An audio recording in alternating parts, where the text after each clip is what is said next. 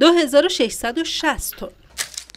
محصول بادام امسال استان سمنان. برداشت محصولمون رو از اواسط مرداد شروع کردیم. بیشتر محصول بادام استان حاصل زحمات باغداران در شهرمیرزاد، شاهرود و دامقانه محصول امسالمون خدا شکر پرباره و به خاطر اینکه سرمایه‌زدگی نداشتیم. اینجا مجتمع کشت و صنعت کوهپایه در شهرمیرزاده در این مجتمع 13 هکتار زیر کشت بادامه. بادام سنگی دو پوست کاغذی. اگرچه آبیاری قطره‌ای اینجا مصرف آب رو به نصف رسونده اما کیفیت محصول هر سال رو به افزایشه. یکی از خصوصیات خیلی بارز این بادام اینه که ارگانیک بودنشه. آقای رحیمی میگه بادام این مجتمع قابلیت بالایی برای صادرات به کشور فرانسه داره اما زیرساختهای لازم فراهم نیست. یعنی شما یک کیلو می‌تونید 20 دلار ارزآوری داشته باشه من نگرانم اگه محصولم بفرستم ارز نتونم برگردونم خب ضمانت اجرایی با کیست؟ در چنین محصولاتی صنعت بسته‌بندی هم می‌تونه چند برابر درآمدزایی کنه.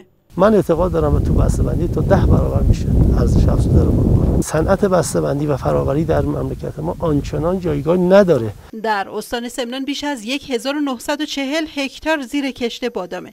با میانگین عمل کرده دو تن در هر هکتار.